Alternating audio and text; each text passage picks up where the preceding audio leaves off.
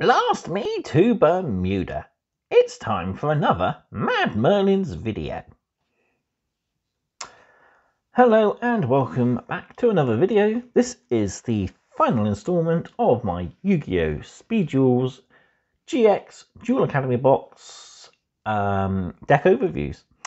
So we will look at our very last deck and at the end, we'll even have a quick look at the extra cards, mainly focusing on the skills we get in there, as we don't get a lot of cards that can benefit them as decks.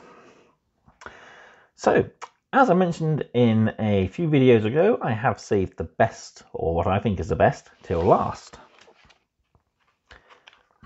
If you haven't guessed it already, it's Axel Brody's deck. So this is um, a burn deck, pretty much, and runs really well as the um, uh, volcanic cards. So, like I said, um, we will run through the skills, the cards, the combos, strengths and weaknesses, and any modifications.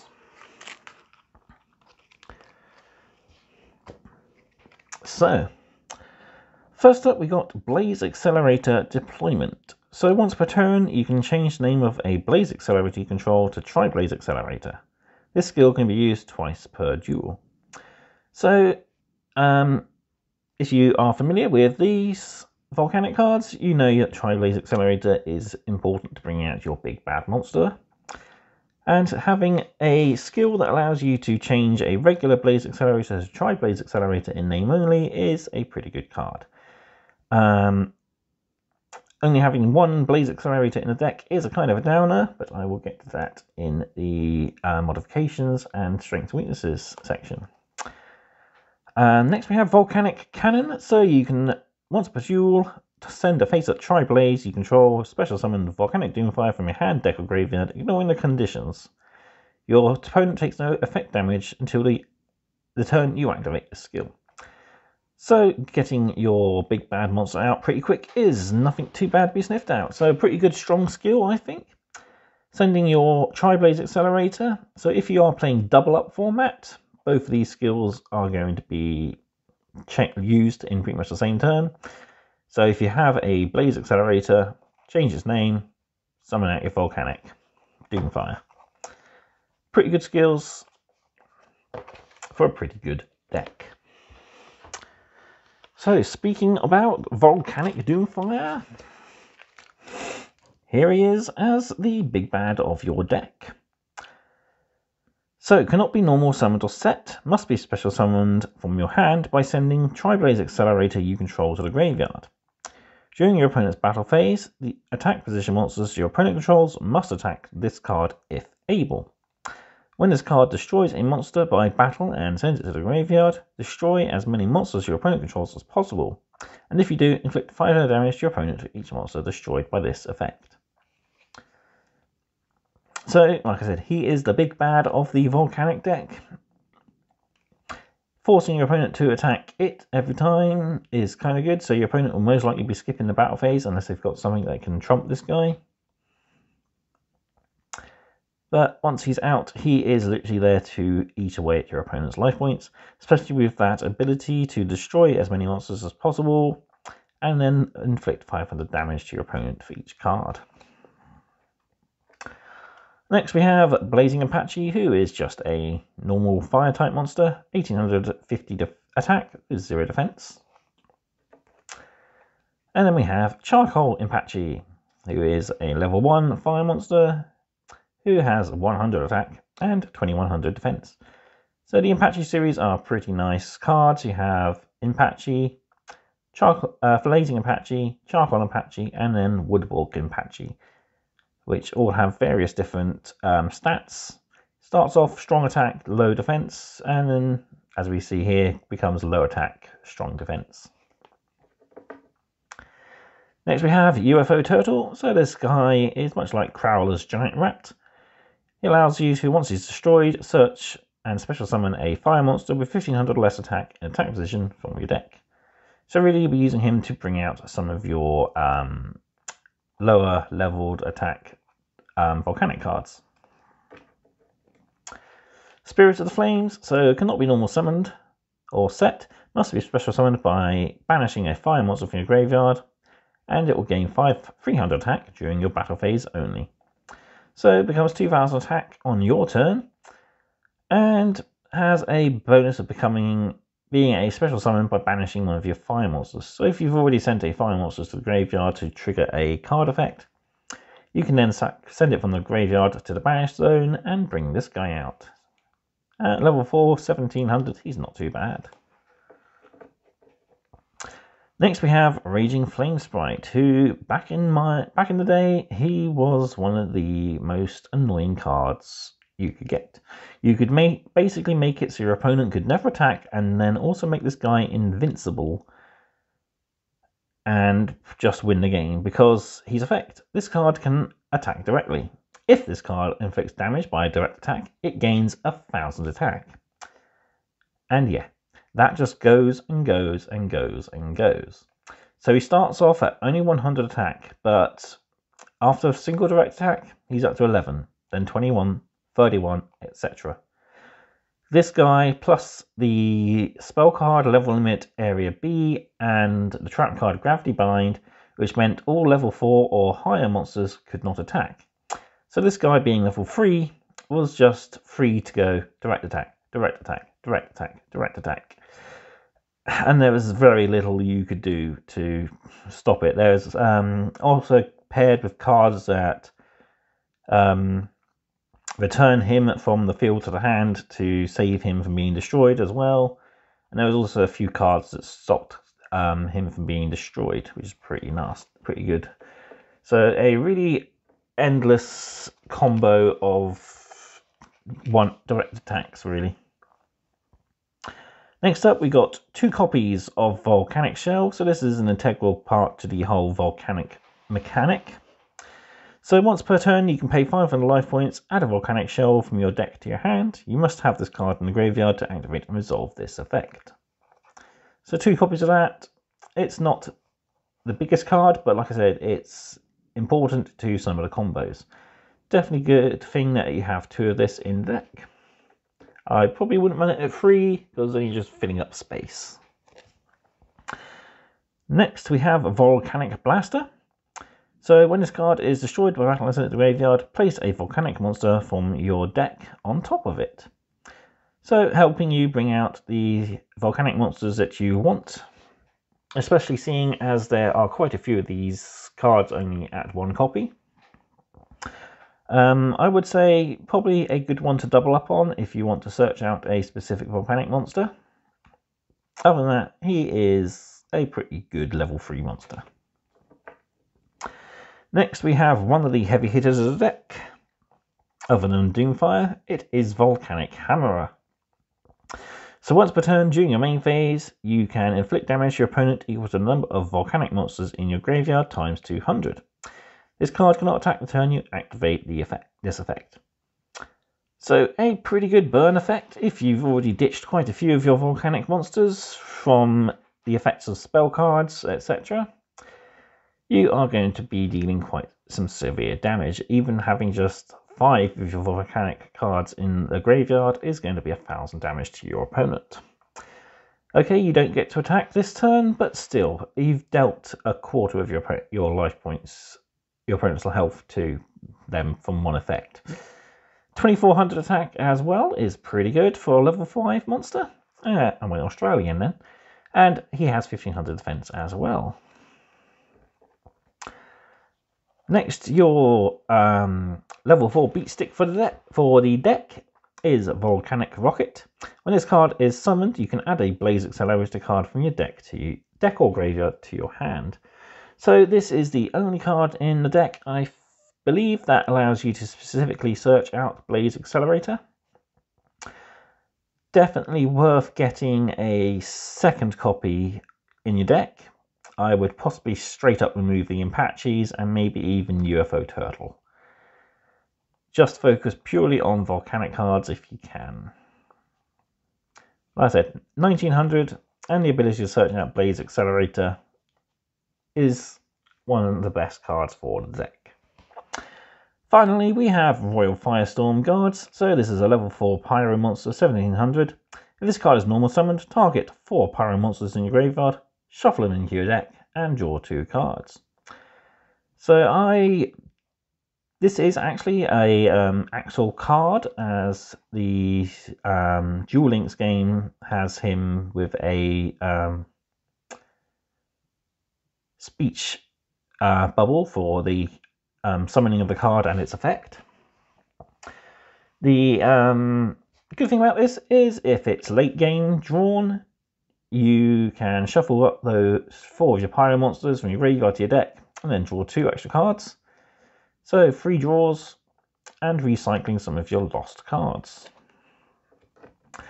Um, definitely good at one. I think it's one of the few cards that I wouldn't double up on, but it's still a pretty good card. Okie dokie, let's move on to the spell cards. So we've got a pretty monster heavy deck and we only have five spells. So we have Salamandra, which is an equipment card that can only be equipped to a fire monster. That monster gains 700 attack. Personally, I'd remove this as I consider it more a Joey card. But it's still pretty good for the deck. It's a nice 700 point boost to your fire types. Uh, Twister, quick play for paying 500 life points, target a spell trap on the field and destroy it. Pretty good. It's a rather standard sort of card to be used. And yeah, it could be pretty useful in the volcanic deck, I, believe, I think. So next we have Blaze Accelerator. So this is where your um, volcanic shells come in handy. So you can target one monster your opponent controls, send a pyro monster with 500 or less attack from your hand to the graveyard, and if you do, destroy the monster. Your monsters cannot attack the turn you activate its effect. So a free destruction for the sacrifice of one of your low level monsters, and with your volcanic shell having the ability to pay 500 life points, and um, add another one from your deck to your hand, it's a pretty good effect. And the good thing is you can use it multiple times per turn, but you do have the um, handicap of not being able to attack. And next we have Tri-Blaze Accelerator. So activate by sending a face-up Blaze Accelerator you control to the graveyard. During your main phase, you can target one monster your opponent controls, send a Pyro monster from your hand to the graveyard, and if you do, destroy that target. And if you do that, you inflict 500 damage to your opponent. Your monsters can't attack turn you activate this effect. So, not only is it the same effect as your regular Blaze Accelerator, but it can be any Pyro monster, no limited on 500 attack. You have the added bonus of dealing 500 damage, but you also do have that drawback of no attacks. Still, it's a really nasty card. Next we have Wildfire. So you pay 500 life points, destroy all Blaze Accelerator cards you control. And if you do, destroy as many monsters on the field as possible. Then special summon one Wildfire token, which is a level 3 Pyro Fire monster with 1000 attack and defense, in attack position. Your monsters cannot attack turn you activate this card. So it's pretty good. It's basically a wipe out the entire field and then special summon a little flame token. So it gives you something to tribute if you have a high level monster in your hand. And here we have the last three cards of the deck, the trap cards. So Michizuri, which is when a monster is sent from the field to the graveyard, even during the damage step, target another card on the field and destroy it. So this is pretty good. It allows you to um, send a card you control, or when you lose a card you control, you can then destroy another card on the field. And it says cards, so it doesn't have to be monsters, which is good. So if you um, sent your Blaze Accelerator to activate your Tri-Blaze Accelerator, you can activate this then, and then destroy one card on the field. So it is, yeah, it is targets one monster on the field. But yeah, you can still send a spell trap card to activate. Next we have Covering Fire. So during damage step, if an opponent's monster attacks their monster, target a face-up monster you control that is not being attacked. The attacked, attacked monster gains attack equal to the attack of the other monster during damage step. So pretty good. It allows you to boost the attack of your uh, weaker monsters by having your backed up other monsters. So it can turn even a low level monster into a near impossible to defeat beast.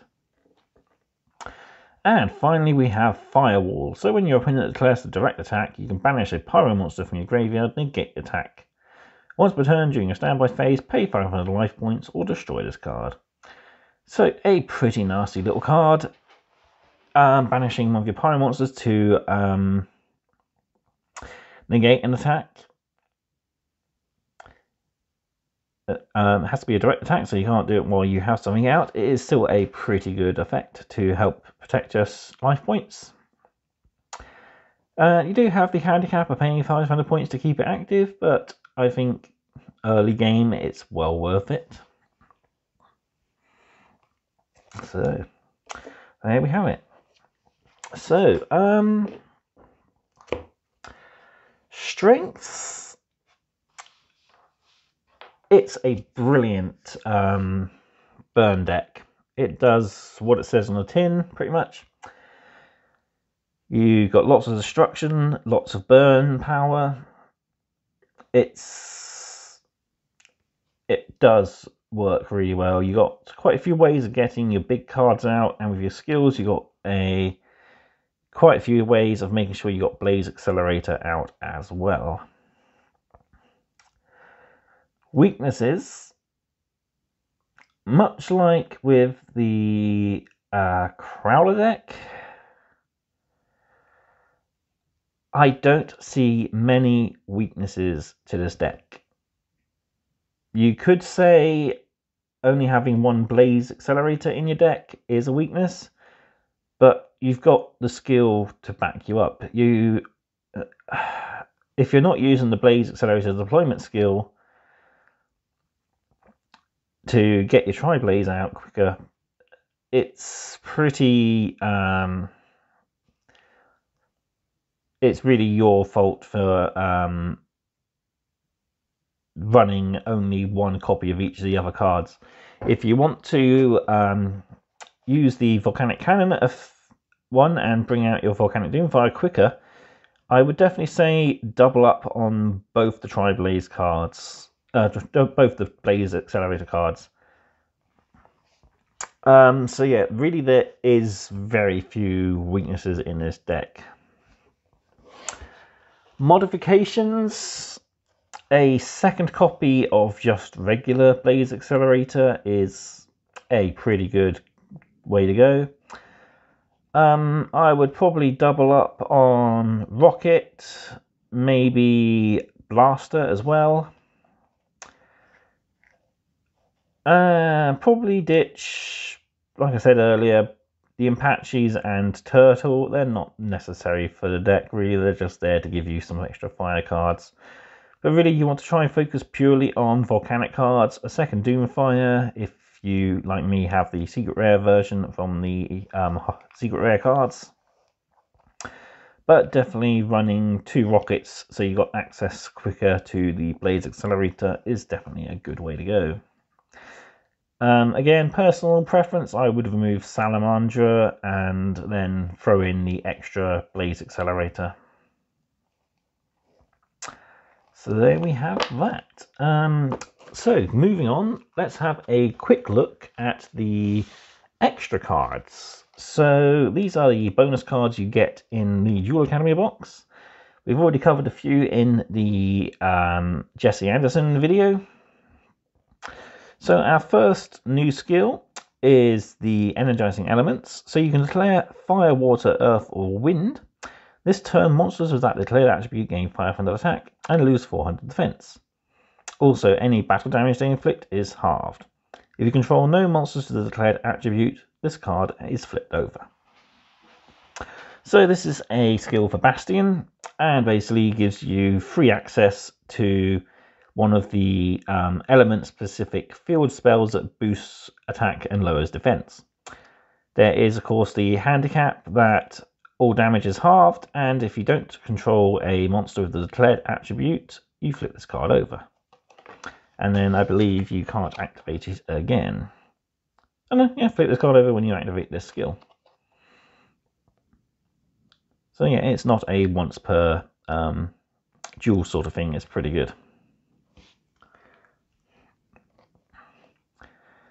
So we will be getting more Bastion cards in the um, Yu-Gi-Oh! GX midterm Speed Duels expansion, which includes a deck for Jaden, Cyrus, the Paradox Brothers, and Bastion.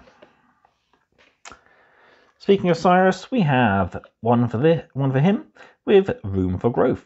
So during your main phase, you can increase the attack of one level 3 or lower monster you control by 300 times its level. Until the end of this turn, then flip this card over at the end of the turn you activated this skill. So yeah, I believe this is a... Um, I don't yeah, you can use it multiple times, it looks like. It's basically... Um, Cyrus's deck runs a lot of low-level monsters anyway, so boosting their attacks is a good thing to have. So you're going to be doing at least at least 600 boost because most of these void monsters are, I think, level 2 but most will get a free uh, 900 point boost for being level 3, etc. And the good thing is it does it is limiting to only target those level 3 or lower monsters. The final skill we have is I've got Dino DNA. So we got um, Hassleberry's skill here. So during each of your draw phases, you will gain 200 life points. During a draw phase, if you draw a dinosaur monster, you can normal for your normal draw, you can reveal it, place it on the bottom of your deck, then draw one card. So once per turn, during your main phase, you can make one dino monster you control gain 200 attack until the end of this turn. A pretty handy skill, but with not many dinosaurs in the Speed deck, you won't be running a Hassleberry deck at the moment. If, like me, you already have the Weevil and Rex Raptor um, deck, you will most likely already have access to quite a few Dino decks, Dino cards, and you could easily build up a Hassleberry deck pretty easily. So yeah, at the start of the duel, you flip this card over, and there is no ending to it. So yeah, you gain 200 points each time you draw, which is pretty good. Then the added bonus of a bonus draw, and a third bonus of you can make one uh, one dino gain 200 attack until the end of the turn.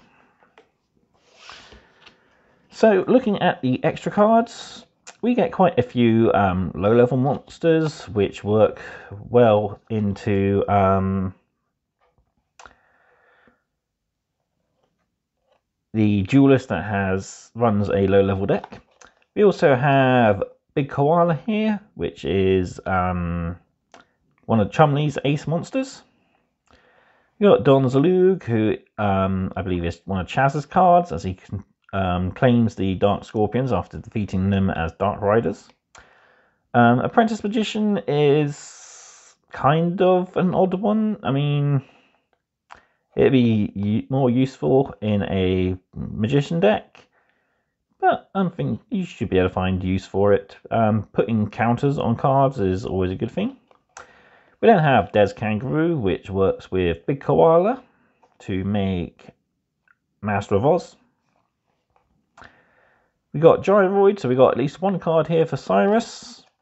Black Brachiosaurus, so we got one card here for Hassleberry. And Hydrogeddon. so we got one card here for um, Bastion. We also have an extra Tune version of Ancient Gear Golem. So this would be an ideal um, card to use for Pegasus, I believe, in the duel where Pegasus fights um, Crowler and Bonaparte in season two. He um, takes control of Ancient Gear Golem and turns it into this, basically. Then we have Sphere Kuriboh, so I believe this guy's good for your um, ritual decks, I think. Yes. Uh, you can banish this card from your graveyard as one of the, your monsters required for a ritual summon. We've already looked at Master of Oz.